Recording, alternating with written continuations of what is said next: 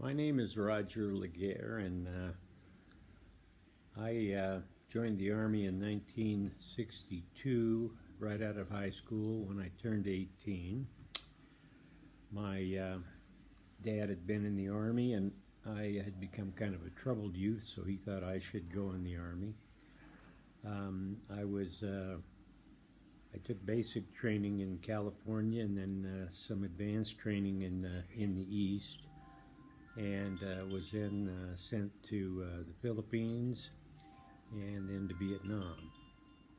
Um, when I got out of the Army, I discovered I could work a full-time job and uh, go to college on the GI Bill, which I did, and I graduated in accounting in 1969.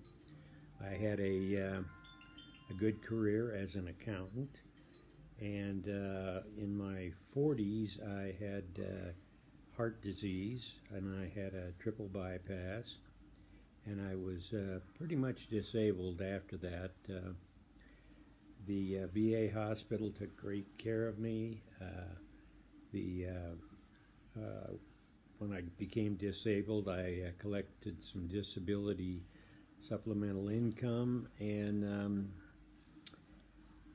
I used the GI Bill to buy uh, my first house. Uh, so for me, it was just a godsend, and I don't think I would have had this life or uh, gone to college or or done any of those things without them. So I'm really grateful. Happy birthday, GI Bill.